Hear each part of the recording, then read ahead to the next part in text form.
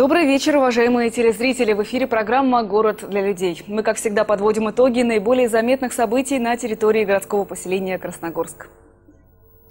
На экране вы видите телефон редакции и адрес сайта, где можно оставить свои вопросы и предложения. Участвуйте в создании программы. Нам важно ваше мнение.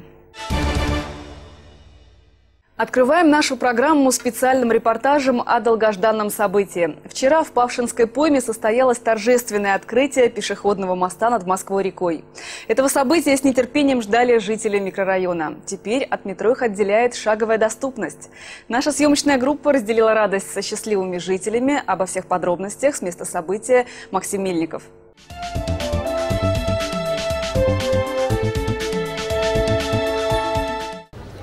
День открытия моста на берегу Москвы-реки многолюдно. Всем хочется стать участниками ни много ни мало исторического события. Это сооружение между собой жители Павшинской поймы уже называют «окно в большой мир». Там Вегас, там метро, там жизнь. Здесь у нас ничего нету. Спальный район. Да, у нас спальный район, в котором ничего нету. Поэтому вот мы надеемся, что там, на той стороне, может быть, что-нибудь и будет.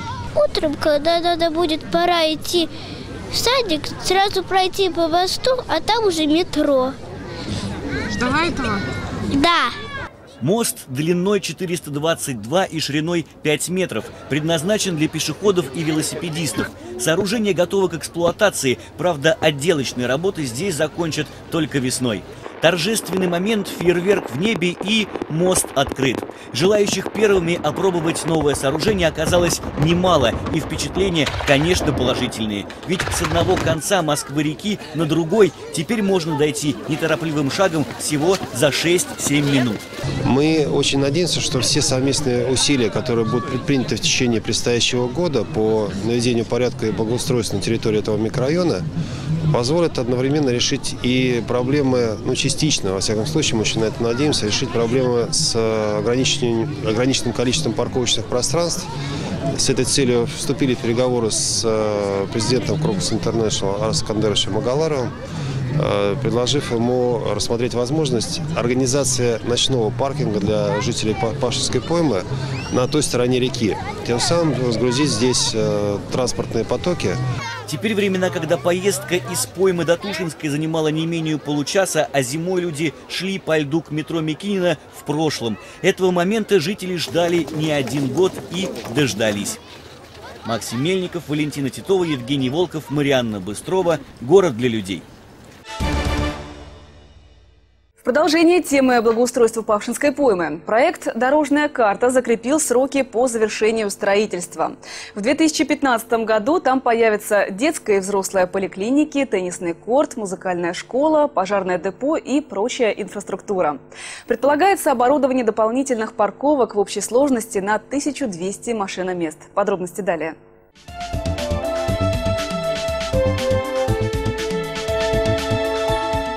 Через несколько минут в конференц-зале районной администрации состоится обсуждение дорожной карты Павшинской поймы. Проекта направлено на реализацию мероприятий по улучшению условий проживания в микрорайоне Павшинская пойма.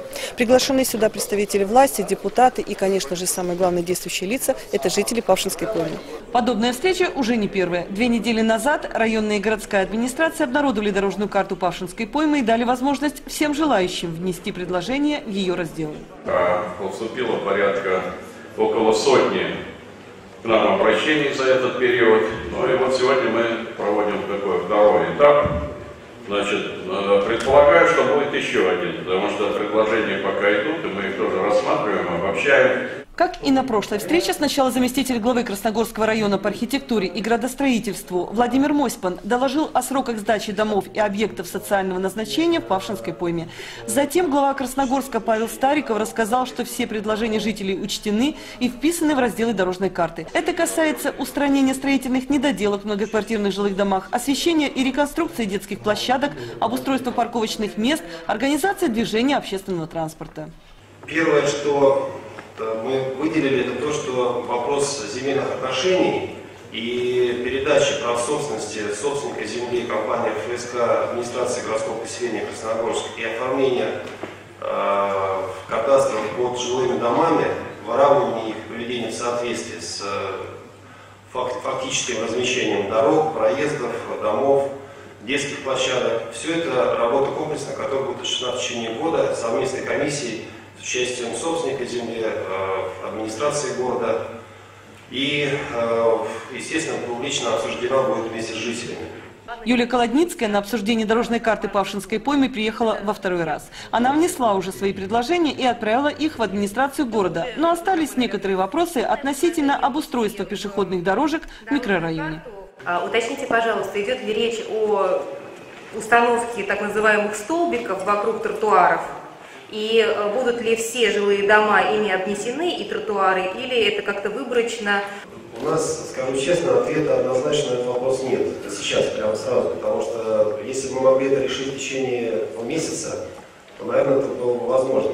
Предполагаю, что в первую очередь, конечно, должны они появятся в тех местах, где идет основная миграция. То есть это доступ к детским садам, к школам, к ну, общественным каким-то зонам основным.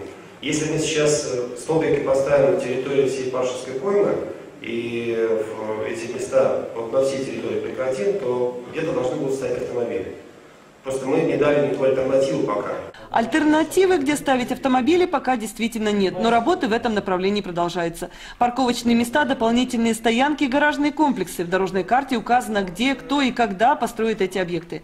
Ведутся сейчас и переговоры с выставочным центром в Микининской пойме, чтобы в нерабочее время жители Павшинской поймы могли оставлять автомобили на стоянке по ту сторону Москва-реки. Вопросы на встрече прозвучали разные. Про площадку для выгула собак, автобусный маршрут до 27 километра, детские площадки, почту, полицию, храм – Отвечали застройщики, руководители города и района. Павшинская пойма – это очень большой проект, дорожная карта. Она требует большого количества финансовых вложений, но надо понимать, что в любом проекте есть приоритетные направления и те, которые можно делать следом за этим. Все мероприятия, все пожелания жителей, они давно известны. А, повторюсь, что самое важное а, реализовать то, что возможно, и не обещать того, чего мы не сможем сделать. Поэтому Э, требования и просьбы, где-то требования, где-то просьбы жителей, они абсолютно понятны и правильны. Елена Прочаковская, Александр Козырев, Ольга Казанская. Специально для программы «Город для людей». Вы можете коротко сформулировать, что такое малый бизнес? Да, довольно сложно. Однако именно малый бизнес является основой любой экономики. Многие развитые государства всячески поддерживают его развитие. Малый бизнес является фундаментом образования среднего класса, определяющего экономическое развитие в целом. Вот и в нашем городе малому и среднему бизнесу уделяется особое внимание. А для начинающих предпринимателей даже создан специальный бизнес-инкубатор, где можно попробовать попробовать осуществить свои идеи. Каждый резидент получает не только стартовую площадку, но и профильное обучение. Почувствовать себя настоящий бизнес-вумен попробовала Валентина Титова.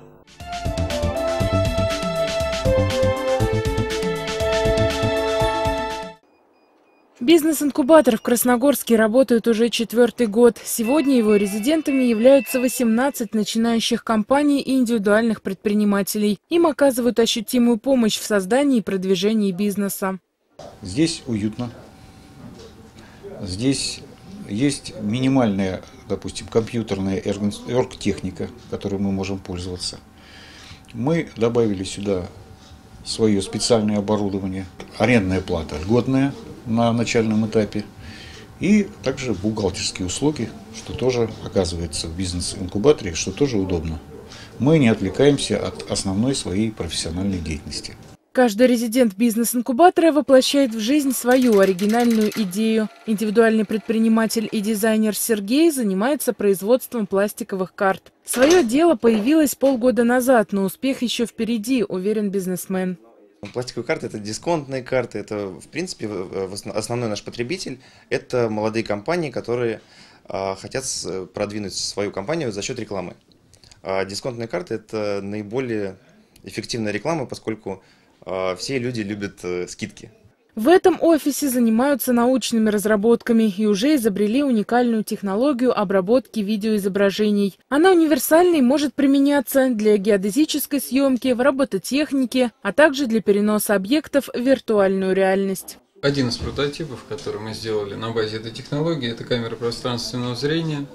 Э, она позволяет измерять в один момент времени расстояние до различных участков объектов. Вот э, карта глубин. Аналогично э, известной камере Kinect от Microsoft, э, мы на выходе камеры получаем карту глубин и фотографические изображения. Еще одна компания внедряет инновационные разработки в производство грузовых автомобилей и автофургонов. Потребителями продукции фирмы в том числе являются и предприятия нашего города – Водоканал, Конфаэль и другие. Занимаемся производством автомобилей, то есть грузовых фургонов, бортовых платформ и на сегодняшний день э, прицепов на грузовые автомобили. А, наша новая разработка, которая на сегодняшний день не имеет аналогов в России, рискну позволить себе такую нескромность, это прицепы к легковым и легким коммерческим грузовикам. Прицепы как таковые, они существуют, как бы в России их производят. Но именно прицепы-фургоны, вот как на наших э, картинках, это такая новая довольно-таки история. Сотрудников этого малого предприятия особенно волнует тема безопасности водителей в момент, когда на дорогах идет замена или реконструкция покрытия. Так появились сигнальные обозначения, которые легко может закрепить даже один человек. Свою разработку создатели продумали до мелочей. Сигнальный фонарь мы умышленно сделали, если вот обратили внимание, сделали со смещенным центром ввода. То есть обычно во все светильники центр ввода кабеля по центру а мы оставили место для того, чтобы можно было бы закрепить на нашем креплении и отдельно, и происходит монтаж э, светильника. Точно такая же ситуация. Э, мало того, что крепятся светильники, э, фонари сигнальные, еще э, крепеж э, заградительных ограждений. У нас тоже здесь конструкция продумана. Для того, чтобы монтаж сделать, ничего не надо, только ключ на 17. Э, это же у нас получается светильник активный оно вдруг, если электроэнергия пропала или там аккумулятор сел, то мы продумали такую систему. Одевать на эти стержни, одевать такие ролики, которые светоотражающие. Изобрели здесь и настоящего робота-манипулятора для китайской настольной игры Go. Он разрабатывался как научно-образовательный проект, и теперь его ждет большое будущее, уверены создатели. Мы хотим Э, таких роботов поставлять в учебные заведения и в научные заведения для того, чтобы студенты и школьники могли э, приобщаться к миру робототехники. А, базовая игра для этого манипулятора сейчас это как раз вот игра в Go. Планируется создать еще игру в шашки, в шахматы и есть такая скандинавская игра Хнефатафу.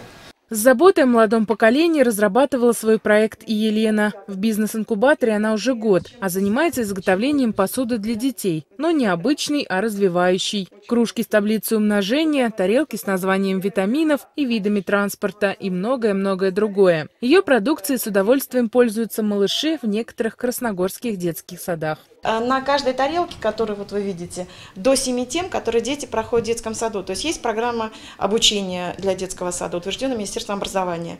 А, и вот исходя из э, тех дизайнов, которые мы делаем, да, значит, э, эта программа, она здесь повторяется. То есть, а, допустим, те же цвета, части тела, части предмета, там, а, допустим, съедобное, несъедобное, несъедобное, большое, маленькое. Присоединиться к команде резидентов, говорит руководство бизнес-инкубатора, несложно. Главное – проявить себя как ответственный человек, у которого есть огромное желание создать свое дело. Услуги по развитию малого бизнеса на льготных условиях дают результаты. Причем выигрывают не только предприниматели. Успехи молодых людей в бизнесе могут стать гарантией успешного развития города в целом.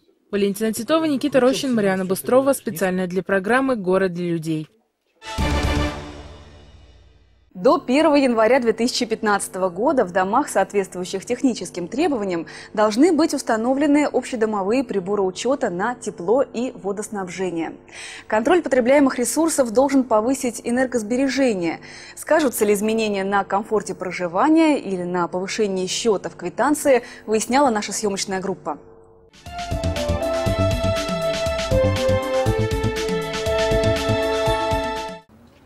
До 2015 года общедомовые приборы учета должны быть установлены во всех многоквартирных домах. Но в настоящее время в Красногорском районе счетчиками оснащена лишь половина жилого фонда. Чтобы ускорить процесс, обязанность по установке теперь, согласно федеральному закону, ложится на поставщика энергоресурсов. А вот затраты придется возмещать собственникам жилых помещений. То есть на сегодняшний э, момент Краснодарская теплосеть уже провела конкурс на установку общедомовых приборов учета и будет устанавливать за счет собственных средств на жилых домах, где этих узлов учета нету на сегодняшний момент. А после этого будет заключаться договор на возврат э, денежных средств в течение пяти лет. Собственник жилья может э, сразу оплатить эти деньги, а может в течение пяти лет вернуть. Стоимость счетчика зависит от диаметра труб и состояния коммуникаций. Самый дорогой – на теплоснабжение и горячую воду. Он стоит в среднем 300 тысяч рублей. Для учета потребления холодной в разы дешевле. Затраты на установку приборов разделят на всех. Например, для жителей квартиры площадью 70 квадратных метров в этом доме стоимость установки всех счетчиков обойдется примерно в 5 тысяч рублей. Разделив сумму на 5 лет, получается, что в месяц будет необходимо оплачивать менее 100 рублей. Сумма небольшая, зато прибор в дальнейшем поможет значительно сэкономить на оплате услуг. В течение года всем собственникам начисляется отопление по 1,12. Когда проходит календарный год, сравнивают показания фактические, которые набежали на узле учета, с расчетами, которые были начислены. И если есть экономия по теплу, то экономия по теплу возвращается жителям, то есть происходит перерасчет фактический. А в том случае, если прибор учета не установлен, то есть жители оплачивают норматив.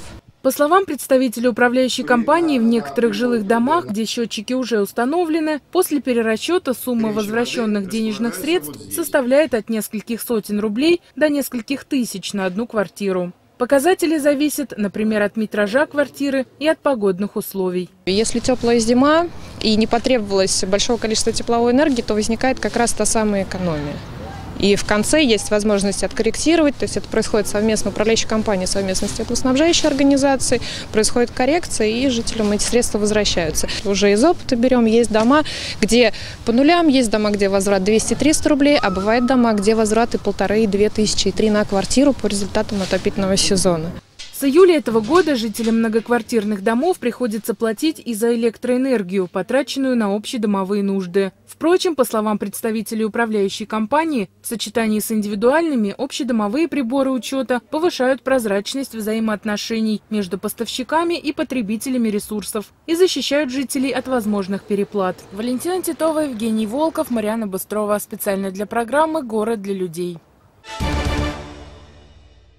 Еще одни преобразования ожидают нас в сфере организации работы общественного транспорта. А именно, уже с понедельника привычный для горожан перевозчик Мосгортранс передает свои полномочия областным коллегам. С чем связаны изменения, отразятся ли они на комфорте пассажиров, а также что такое единая транспортная карта? На все эти вопросы попытались найти ответы наши корреспонденты.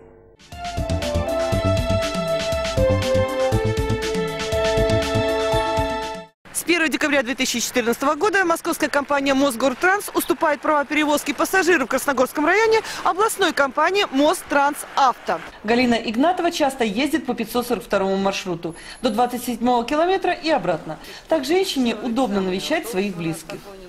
Нам повесили какие-то объявления, да, что у нас автобусов. Мы так отказались, что ничего не будет. А это наш родной автобус, 42-й. Скажите, пожалуйста, а где вы, вот откуда вы знаете, что номера не сохранятся? Ну, во-первых, по разговору, а во-вторых, какое-то объявление висит, я внимательно не прочитала, но я это поняла. Такие разговоры не редкость в Красногорске. Не разобравшись в ситуации, люди делают свои выводы. А какое объявление было? Большое, что с 1 декабря не будет 542 автобуса. С 1 декабря победителем конкурса является мост Трансавто. И оно приступает к работе на межрегиональных маршрутах, то есть те, которые остановка конечная, станция метро Тушинская. 542, 541, 549, 575 и 520 автобус. Никаких изменений не будет номер маршрута остается тот же, количество остановок остается то же самое, цена, стоимость остается та же самая, то есть ничего не меняется. Приобрести новые проездные билеты пассажиры, желающие от метро Тушинская добраться до Никола Урюпина, 27-го километра в Красногорске, 62-й больницы, в госпиталь Вишневского, поселок Юрлова или обратно можно в Павшинской пойме, на конечной остановке 540-го автобуса на станции Павшина и около метро Тушинская у выхода к проезду стратонавтов. Как и раньше, билеты будут продавать и водители автобусов. Билеты будут стоить дороже?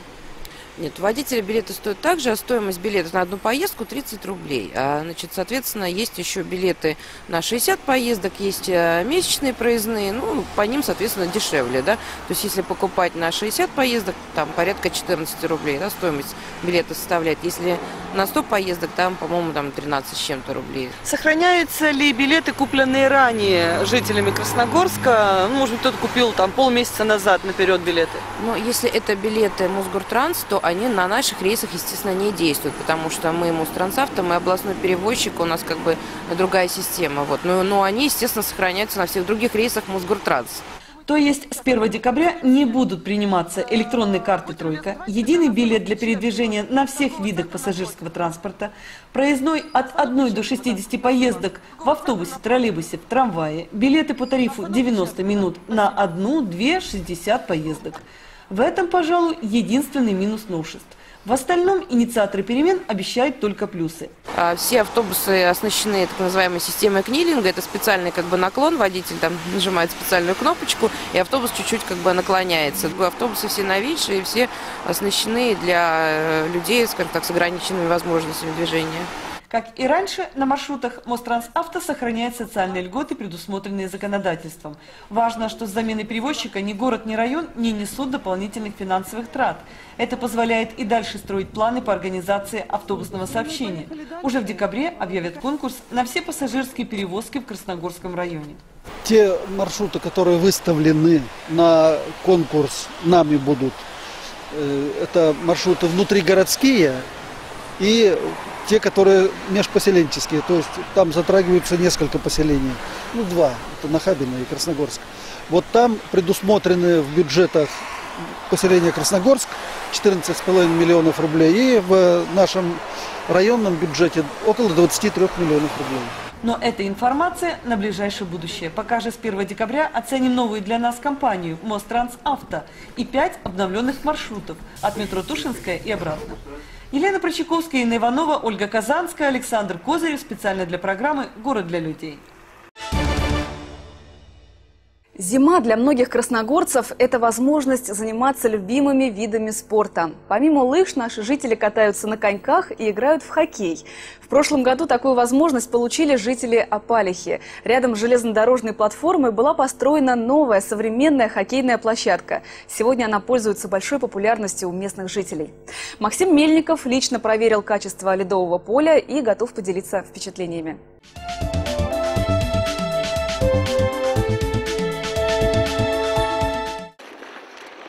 Новая, современная, сделанная по мировым стандартам. Хоккейная площадка в Апалихе уже стала центром спортивной жизни микрорайона. Старожилы говорят, что такого сооружения здесь никогда не было. Любителям хоккея и катания на коньках приходилось выбирать место и заливать его самостоятельно. Я в Апалихе живу с 60 -го года. Впервые у нас здесь появилась э, нормально оборудованная хоккейная площадка.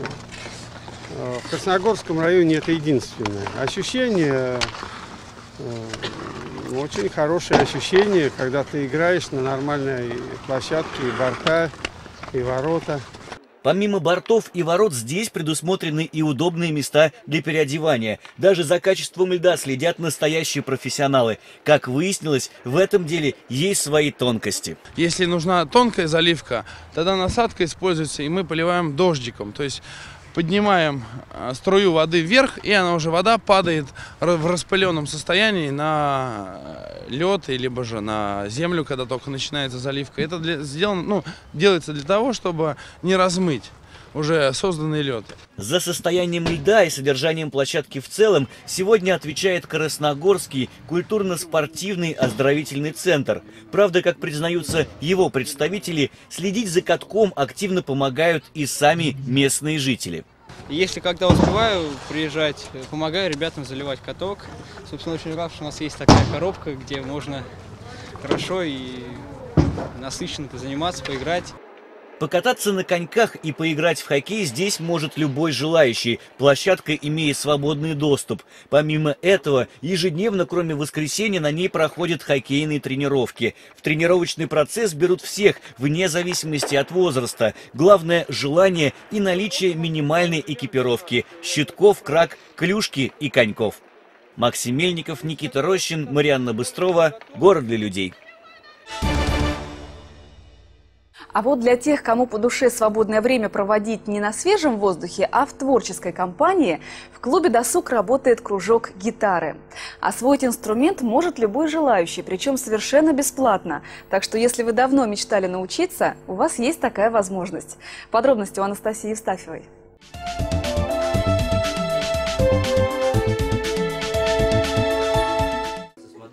Блестящие струны, лаковый корпус и рок-н-ролльный драйв завораживали, пожалуй, каждого. Но далеко не все доходили до кружка гитары. Стать ближе к музыкальным кумирам или просто душой компании стоит томительных часов обучения и мозолей на пальцах, уверены воспитанники клуба «Досуг». У меня папа играл на гитаре, брат играет. Ну вот мне как-то захотелось играть тоже.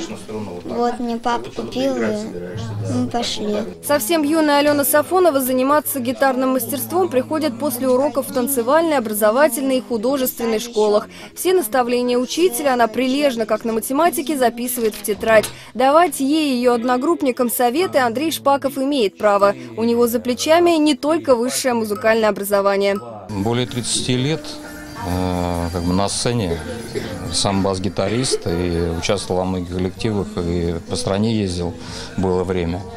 Ну, а сейчас как бы время пришло уже, а нет на месте. Заниматься с детьми уже пора опыт передавать уже. Уже, ну, вообще-то сейчас еще занимаюсь. У нас сейчас в Красногорске группа «Мы» есть, которую я руковожу. Играю там на бас-гитаре, пою. Методика у Андрея простая, во всем индивидуальный подход. Если ученик хочет играть перед друзьями в подъезде, он не будет его мучить нотной грамотой. Посадку, постановку рук и чувство ритма можно выработать и на элементарных аккордах, которых будет достаточно для исполнения народных хитов. А начинается все с азбуки. Сам, с самого начала понятие вообще о гитаре, как гитара устроена, как, э, где какие ноты находятся, как струны называются, как гитару настроить правильно. Если, ну, если ребенок быстро схватывает, ну, это происходит где-то, наверное, в течение двух-трех месяцев первых. Это видно, что есть какой-то прогресс в занятиях. А, Тогда, значит, ребенок дальше идет уже там, дальше усложняются какие-то там э, упражнения, произведения, может быть, уже дальше какие-то учат. Сыграть свою первую полноценную песню – определенный рубеж. Для тех, кто научился ставить баре на грифе и попадать в такт, в досуге проводят отчетные концерты, на которых, как правило, для многих музыкантов звучат первые аплодисменты. Анастасия Евстафьева, Евгений Волков, Марианна Быстрова. Специально для программы «Город для людей». Еще одно интересное времяпровождение сами для себя придумали и организовали жители дома номер 3 по Ильинскому бульвару в Павшинской пойме. В минувшие выходные там состоялся так называемый праздник двора, где, по примеру народных гуляний, можно было найти развлечения на любой вкус. Не устояла перед соблазном и Валентина Титова.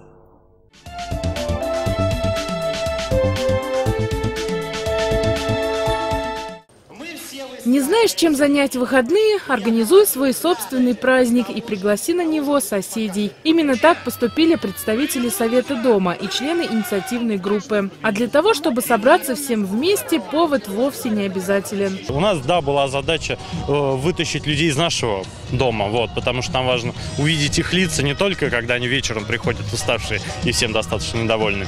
Ну, я могу сказать, что частично мы эту задачу выполнили, будем стараться выполнить на 100%. В отличие от собрания собственников, праздники двора жильцы посещать будут исправно, шутят организаторы. И это неудивительно. Практически у подъезда детей и взрослых встречают ряженые. Звучит веселая музыка и проводятся конкурсы. Каждый желающий может сделать монетку на память или попробовать угощение. На морозе желающих выпить чаю со сладостями хоть отбавляй. Чем угощаются? Блинчиками вкусными, с джемом, со сгущенкой, кто что любит. Самым эрудированным участникам праздника организаторы приготовили призы. Главное правило – ответить на вопросы викторины, посвященные родному городу. Например, на каком расстоянии Красногорск отдален от Москвы. Ответ знали немногие. Но даже те, кто подарок в этот день не получил, не расстроились. Ведь главное, что они провели время с пользой для себя. Весело и интересно. Ну, мы, в общем-то, недавно вышли только. Ну, так весело, смотрели из окна, красиво все. Инициатива очень хорошая. Я просто благодарна вот э, всем организаторам вот этой инициативной группе. Просто они, ну, молодцы. Таких людей очень немного. Очень хороший праздник, интересный. Празднование такого дня двора – дебют для жильцов дома номер 3 по Ильинскому бульвару. Но, как уверяют представители инициативной группы, в будущем это станет традицией. Например, соседям предложат всем вместе встретить во дворе Новый год. Валентина Титова, Евгений Волков, Марьяна Быстрова. Специально для программы «Город для людей».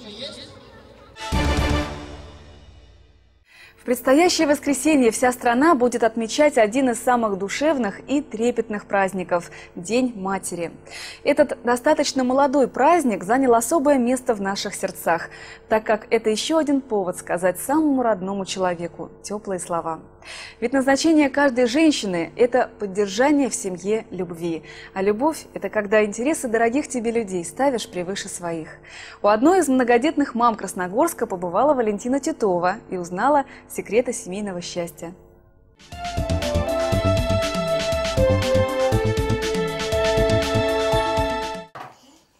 У Ельцовых подрастают четыре сыночка и лапочка-дочка. О дружной семье Елена и Денис мечтали всегда. А тому, что теперь она еще и большая, рады вдвойне. Супруги познакомились в сельскохозяйственном институте, оба учились на агрономов. Потом поженились, и один за другим в семье появились малыши. Первый Артем, затем Саша, Денис, Глеб и маленькая Катюша, любимица домочадцев. Трудно было мне с первым, потому что жизнь поменялась кардинально, все это очень сложно принять. А потом, чем дальше, тем уже незаметнее. Это твоя жизнь, твоя работа, как бы это ответственность больше, и поэтому э, расслабиться, там что-то не сделать, такого не бывает. Ты всегда на чеку, всегда у тебя все под контролем.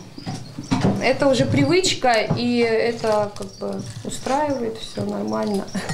Конечно, теперь справляться со всеми сразу бывает порой непросто, делится многодетная мать. Но, как говорила героиня известного фильма, трудно с тремя. А когда трех научишься организовывать, дальше число уже не имеет значения. К тому же дети с удовольствием помогают маме. С сестрой помогаю, тоже сижу, гуляю с ней. Ну, мы как бы с братом тоже моим, после меня идет Саша. Мы с ним как бы это все делаем там. В семье все натуры увлеченные. Артем занимается вокалом и танцами. Саша – будущий художник. Денис предпочитает спорт. Увлекается футболом и дзюдо. Глеб и Катя еще пока маленькие, но скоро также найдут интересное хобби, уверены родители. А пока они, как и другие, любят путешествовать с родителями и слушать сказки на ночь. Есть в семье и еще одно общее увлечение – домашние животные. И не какие-нибудь кошки или собаки. Старшие дети занимаются разведением шиншил. Здесь живут попугаи и ежики. А вот черепаха появилась совершенно случайно. Соседям она оказалась не нужна, а в доме Ельцовых ей место нашлось. Ходили на выставку, увидели улиток там. Опять же, дети начали просить, мама, улиток, хотим заниматься. Ну, конечно, у них порыв первый хороший, а потом все на плечи мамы ложится. Но если я не успеваю, конечно же, они все делают, что я не сказала. Брать террариум, помыть, покормить. Они все это могут, все это знают. Елена, как мать пятерых детей, в этом году была удостоена особенной награды от правительства области. Ей вручили медаль «Материнская слава». Происходило все это в Доме правительства, в торжественной обстановке. Как бы, с Московской области еще одна семья была награждена. Казалось бы, свой вклад в улучшение демографии нашей страны семья Ельцовых перевыполнила, но на достигнутом супруги останавливаться не планируют. Валентина Титова, Евгений Волков, Марьяна Быстрова. Специально для программы «Город для людей». Не забудьте поздравить своих мам с предстоящим праздником и сказать слова поддержки и понимания, любви и благодарности. Слова, в которых так нуждаются наши мамы. В заключение выпуска мне остается только рассказать вам о погоде. Последние осенние выходные порадуют нас солнечными лучами и спокойным геомагнитным полем. Температура воздуха продержится в районе 10 градусов мороза. Такая погода комфортно переносится в данный период осени, так что даже метеозависимым выходные подарят хорошее самочувствие и настроение. Наша программа подошла к концу. Напомню, кто не успел посмотреть выпуск, это всегда можно сделать на сайте администрации городского поселения Красногорск. Я желаю вам всего доброго и до встречи в эфире.